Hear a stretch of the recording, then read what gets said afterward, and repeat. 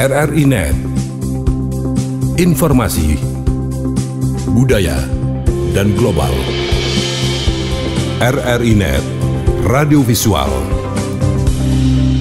kita melaksanakan kegiatan bakti kesehatan yang kebetulan dilaksanakan serentak seluruh Indonesia. Khususnya untuk kegiatan kita di Polres Sumba Barat, kita melaksanakan pengobatan gratis dan melaksanakan vaksinasi. Kapolres Sumba Barat AKBP Anak Agung Gede Anom Wirata SIK MH di sela-sela pelaksanaan kegiatan vaksinasi massal dan pengobatan umum secara gratis di Mapolres Sumba Barat Jumat 17 Juni 2022 mengatakan bakti kesehatan tersebut berjalan serentak oleh jajaran Polri di seluruh Indonesia dalam rangka HUT Bayangkara ke-76.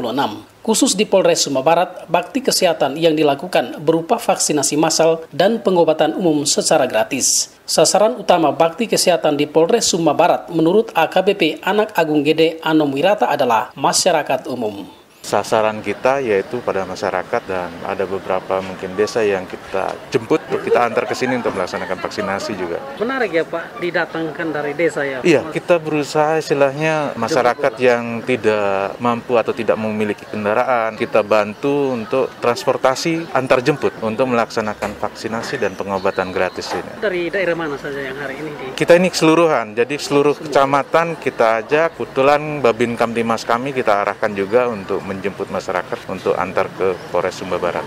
Berkaitan dengan keterlibatan Polri dalam mempercepat program vaksinasi, Kapolres Sumba Barat AKBP Anak Agung Gede Anom Wiratah mengatakan bertujuan mendukung pemerintah dalam meningkatkan ekonomi masyarakat untuk percepatan vaksinasi dan mendukung kebijakan pemerintah dalam peningkatan ekonomi. Secara garis besar kalau untuk eh, vaksinasi antusias mereka masyarakat dan mereka masyarakat khususnya yang di wilayah-wilayah yang kita jemput sangat senang sekali terkait dengan inovasi dari Polres Sumba Barat untuk pelaksanaan vaksinasi dan pengobatan gratis ini. Khusus pelaksanaan kegiatan vaksinasi massal di Mapolres Sumba Barat pada Jumat 17 Juni 2022 yang berlangsung mulai pukul 09.00 hingga pukul 15.00 WITA berhasil melayani 123 orang. Dapat diketahui bahwa selain vaksinasi dan pengobatan gratis, Polres Sumba Barat juga akan menggelar sejumlah kegiatan lainnya yaitu sepeda gembira dan jalan santai yang akan berlangsung pada Minggu 19 Juni 2022